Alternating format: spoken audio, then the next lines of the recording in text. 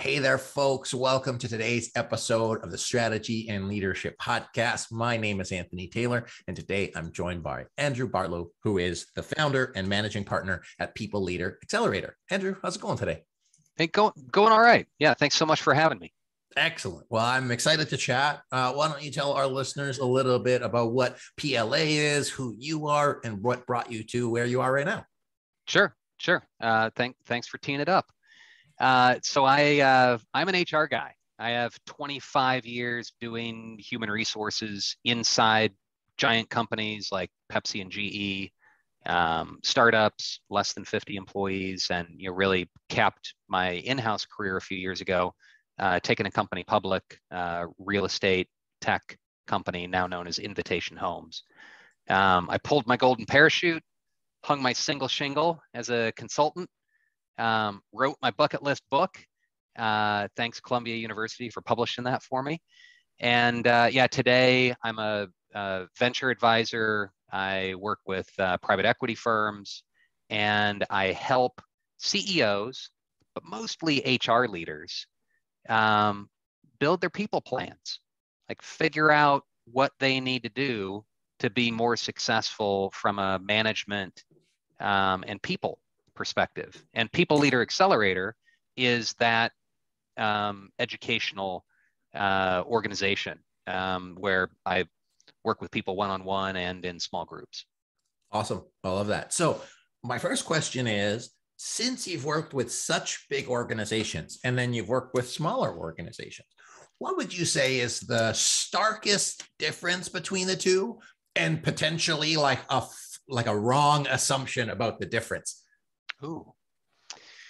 Um, speed is definitely a massive difference.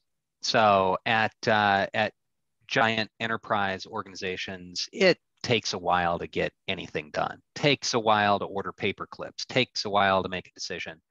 Um, at a startup, it it's frantic. It's frantic. Usually working on too many things, making decisions that um, you know are often too quickly um, determined. Uh, so uh, speed, speed's a big one. Um, you know, speed helps those startups and high growth orgs be successful, and speed also kills. So watch out. Um, one thing that I think is often misunderstood between the two, there's this hubris at startup orgs that just because a big org did something, it's bad. There's like the the big com oh that's a big company practice. We don't want to be like that. We want to be special and you know our, our snowflake of uniqueness at our startup. We're we're the only one that's ever been like us this disruptive. So we don't want to do what um, ge is is doing. Um, but what's funny is they want to do everything that google is doing or everything that facebook meta is doing so it's kind of kind of interesting how how peer sets and assumptions end up being very different on different sides of that aisle.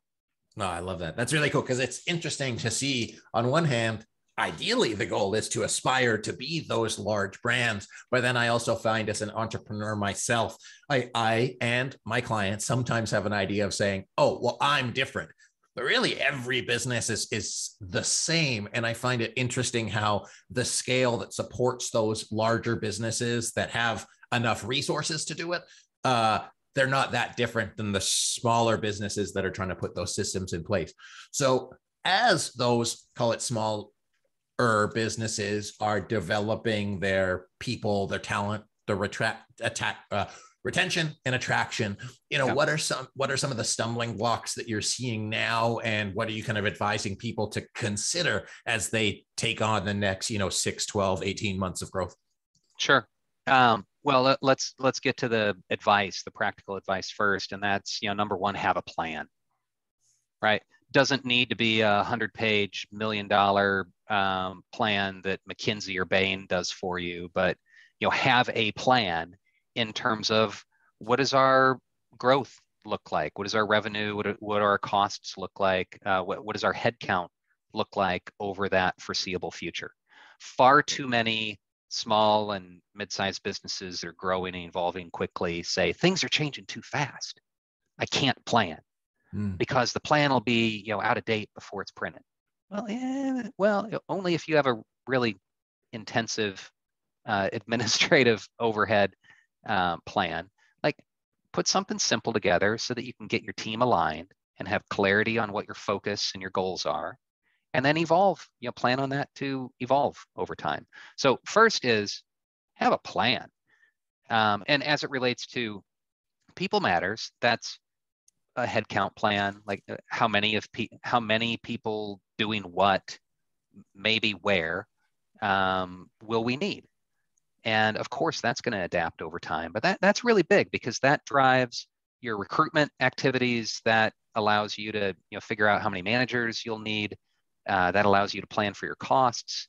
Um, you know most small businesses you know 80% of your costs are people costs. So that, that's a big that's a big nut to be aware of. Um, so it really starts with having a plan and a lot of that is around headcount and then everything else around that i think is how do you manage those people how do you manage that headcount as effectively as possible hmm it's interesting because it seems obvious, like to have that plan, but from an entrepreneur lens, and again, I'd be interested to see what our definition of small and medium potentially is. But that if you're just going and like, oh yeah, I, I can't, there's just so many moving parts. And as the CEO, especially if you don't have a talent partner or an HR person to support you in those decisions, you're wearing all of those hats and trying to do that from the, the side of your desk. So what from a people perspective do you advise those senior leaders and potentially ceos on on how to manage that beyond having a plan but maybe scaling that hr function? And and at what point does it become a really worthwhile investment to take that next step in growth? Yeah. Yeah well um, it depends uh, if you're trying to run a playbook you're going to be more at risk of stubbing your toe and going astray right? It's like following a map with your eyes closed. Um, helpful to have the map, but boy, you want to be aware of your surroundings. So the point here is um, you need to be really thoughtful about what your org needs right now. So um, I, I, think about goal setting and, and planning in, in supply and demand terms. So the demand is what are the top three or four goals of your organization as a whole. Expand in Europe, grow revenue, you know, expand your number of customers. It's usually stuff like that, right? It's re- revenue generating uh, type stuff usually.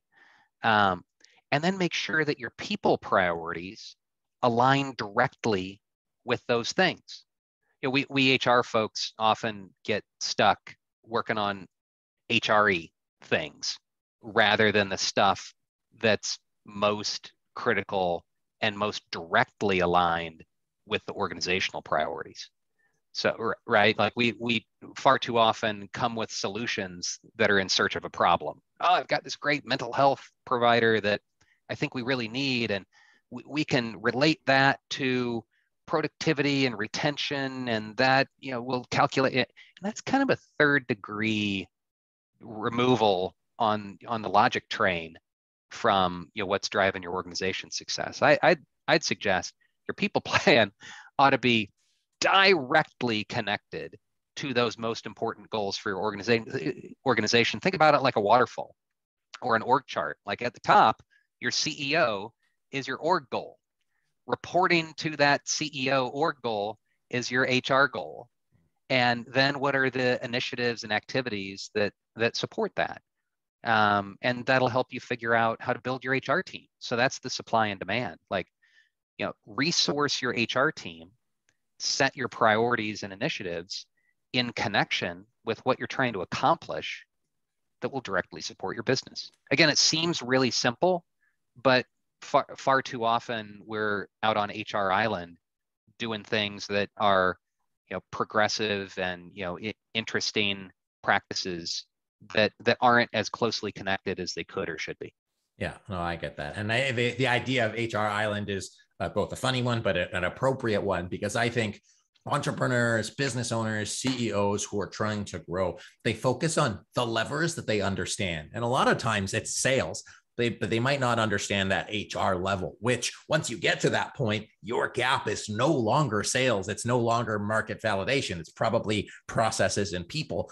And uh, my wife who's actually in hr was telling me you know if you're too far removed from product, not only does it not support the business, but you lose that kind of impact contribution from the HR partners, which creates another problem instead of solving a problem. And you know, us as strategic planners, that alignment, that clarity, that buy-in is critical.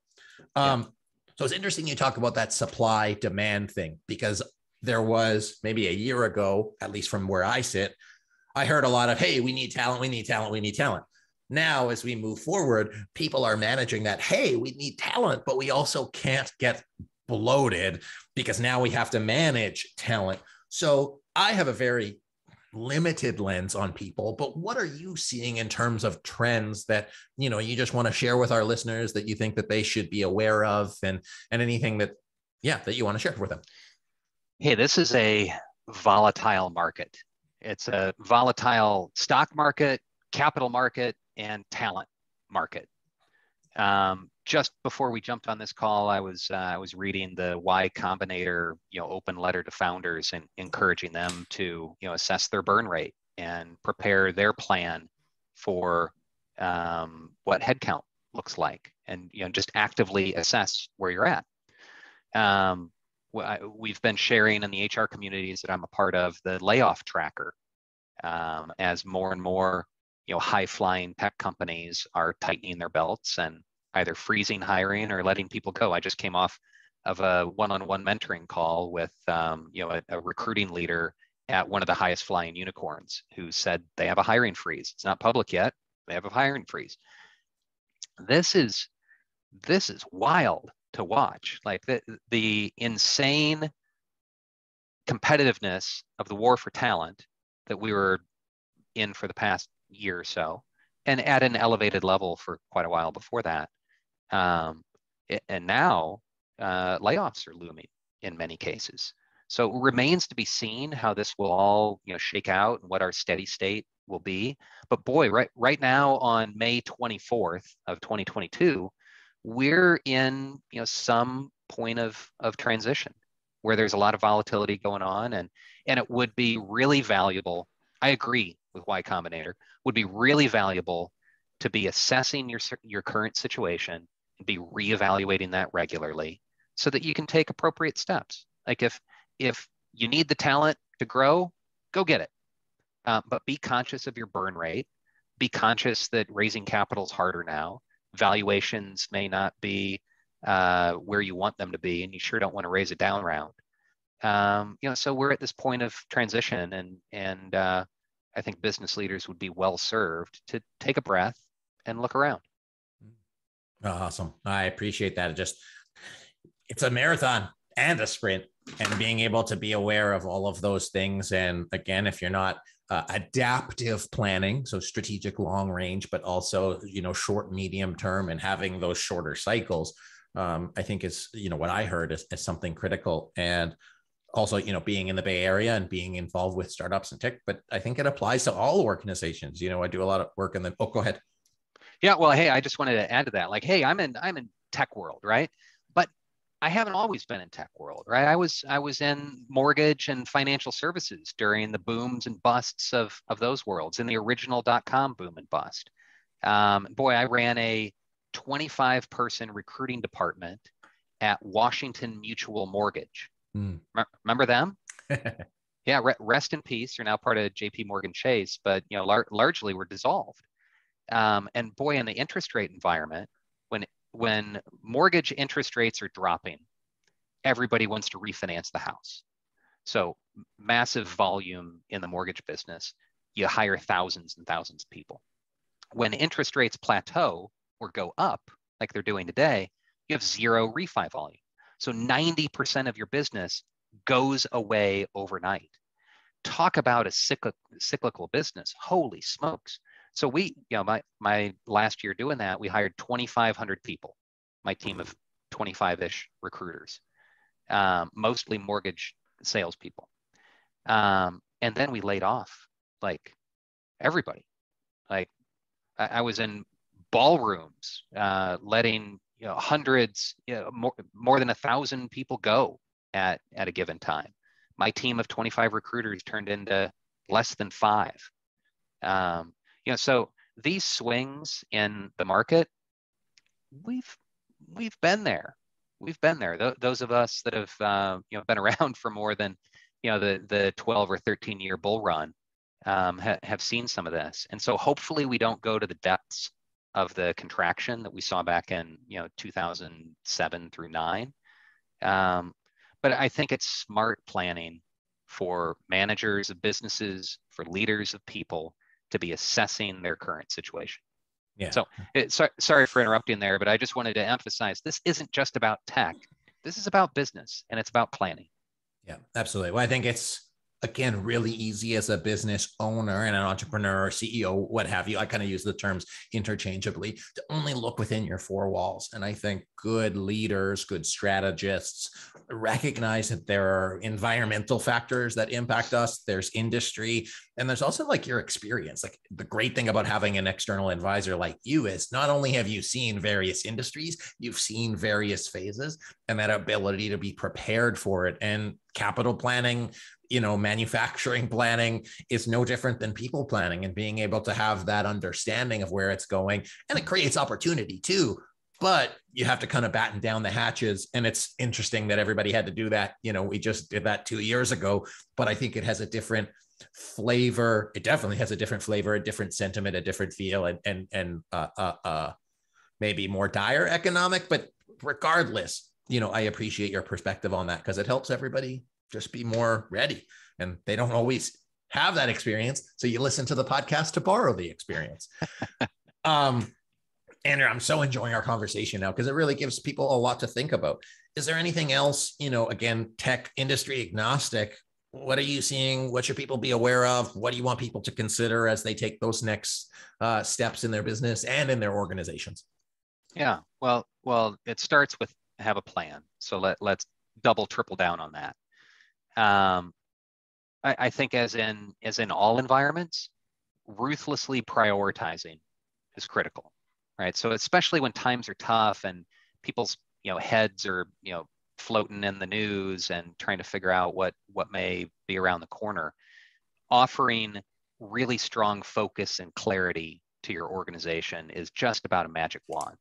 That that helps people work on useful things that'll help them and help the company. So fo- ruthlessly prioritize, offer that focus and clarity for sure.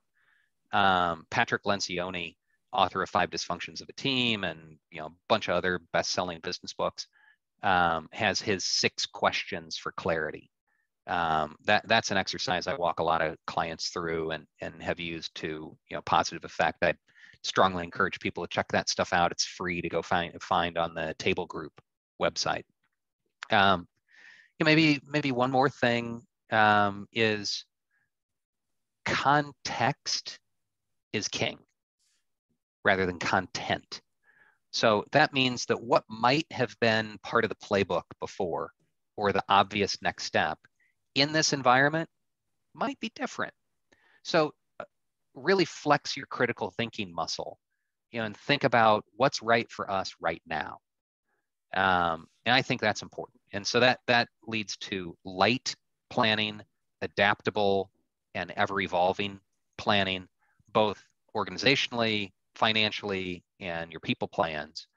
Um, you know, don't don't overdo it. It's really easy to overcomplicate things, um, but be willing to be agile um, while offering that clarity along the way.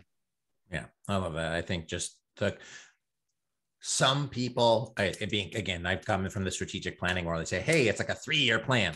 And like, hey, we set our goals and we set these goals and we said we were going to do it and we do it. But I think what I'm taking away from what you're sharing is, you know, that context, like the game has changed. The game is changing so quickly. And, and for to be adaptive to that is, is so important. And one of the things I used to lead peer groups, which I believe is something that you still do, is understanding not just like your own lens, but having your peers, small groups to share about that, to understand what they're seeing. Because the barometer or at least the speed at which you're going to get that in, important information is going to be a lot faster if you have that so can you speak to you know your current experience getting those those small groups together yeah i'm i'm boy just so privileged to be a part of several communities of practice there are 300 or so um, hr leaders at high growth mostly tech companies um, in this group called people tech partners um, and so it's you know the heads of HR at Zoom and Evite and you know, Slack and you name it, like all the all the you know big name places. And I'm fortunate enough to be a part of that. We've got a Google group that's super active that um, we trade emails um, multiple times a day. Um, so really nice to have a pulse on the environment. I'm also part of a couple of Slack communities. Uh, one is startup experts, where the head of the function whether it's finance, ops, or HR. It's mostly HR. There are about 400 people um, that are part of this Slack community.